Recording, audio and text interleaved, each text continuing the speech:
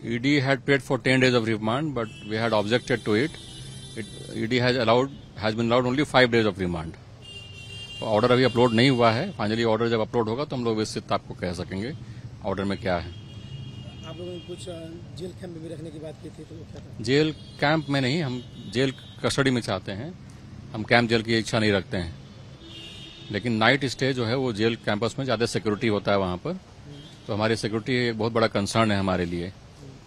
तो वो उससे उसके सिक्योरिटी के लिए हम चाहते हैं कि हमको जेल कस्टडी में रखा जाए। शाम के समय में दिन भर आपका इंटरोगेशन खत्म हो जाए तो शाम में हमें वहाँ पहुँचा दें। हमारा यही प्रेयर आप लोगों ने इसके अलावा अपने में क्या कहा था कि पूरे केस के बारे में? पूरे केस के बारे में यही है कि केस झूठा है। ईडी का कोई केस पीएमएलए का कोई केस नहीं बन रहा है और अरेस्ट बिल्कुल ही इलीगल है। मैं समझता हूँ कि हिंदुस्तान के इतिहास में शायद ही ऐसा कोई मौका हुआ हो जब एक सिटिंग मुख्यमंत्री को की गिरफ्तारी हुई हो। सुप्रीम कोर्ट हमें बताया कि किन मामलों में हम यहाँ आ सकते हैं, किन मामलों में नहीं आ सकते। ये सरकार चाहती है कि कोई भी विपक्ष का मुख्यमंत्री अपने पद पे नहीं बैठे। अभी ये अरविंद केजरीवाल के खिलाफ भी करेंगे। अब होगा क्या जब हेमंत जी वहाँ गिरफ्तारी में होंगे तो 10 केस और इन पे ऊपर थोप दिए जाएँगे। 2009 का मामला है और 2024 में गिरफ्तारी हो रही है। और अगर ये बात भी अगर सुप्रीम कोर्ट नहीं सुनेगा तो हम कहाँ जाएँगे? मैं समझता हूँ कि हिंदुस्तान के इतिहास में शायद ही ऐसा कोई मौका हुआ हो जब एक सिटिंग मुख्यमंत्री को की गिरफ्तारी हुई हो। शायद ही हिंदुस्तान के इतिहास में ऐसा हुआ और वो मामला भी 32 के लायक नहीं है। हाँ इतना ज़रूर होता अगर सुप्रीम कोर्ट हमें कहती कि आप आप अपना केस हमारे सामने रखिए। और केस सुनने के बाद सुप्रीम कोर्ट कह सकती थी कि इस मामले में हम इंटरफियर नहीं करना चाहते, आप हाई कोर्ट जाइए। लेकिन ये कहना कि आप हाई कोर्ट पहले जाइए, कोई सुनवाई ना हो। या तो सुप्रीम कोर्ट हमें बताए कि किन मामलों में हम यहाँ आ सकते हैं, किन मामलों में नहीं आ सकते। तो अब होगा क्या? उनकी गिरफ्तारी हो गई। रिमांड हो गया। तो मैं आपको बताता हूँ क्या होने वाला है। इसको कोई ताजुब की बात नहीं, हमें तो पहले ही मालूम था कि ये, देखिए, ये सरकार चाहती है कि कोई भी विपक्ष का मुख्यमंत्री अपने पद पे नहीं बैठे। अभी ये अरविंद केजरीवाल के खिलाफ भी करेंगे।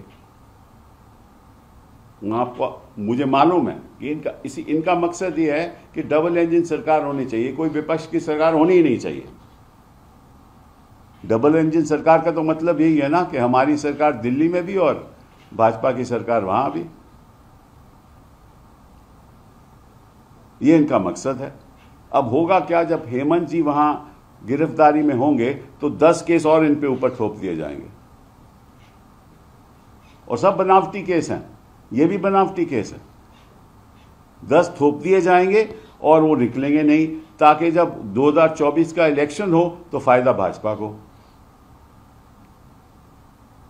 और एक आदिवासी जिसको मैं समझता हूँ कि हिंदुस्तान के इतिहास में शायद ही किसी आदिवासी को ऐसा पद मिला हो।